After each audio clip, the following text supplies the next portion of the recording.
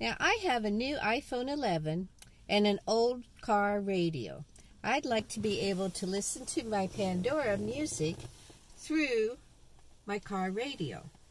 Now I found this amazing little gadget from Gizmo Guy that allows me to do just that. It is very simple to use. It's just plug and play. All you need to do is set your car radio to 87.9. You can hear the static. And now I plug in the gadget. The static goes away. I go to my Pandora.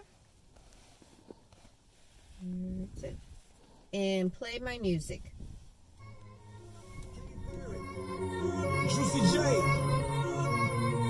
Uh-huh. Let's rage. Just as simple as can be.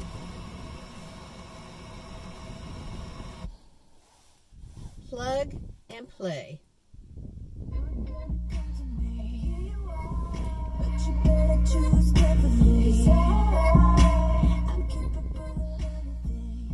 Very clear, crystal clear.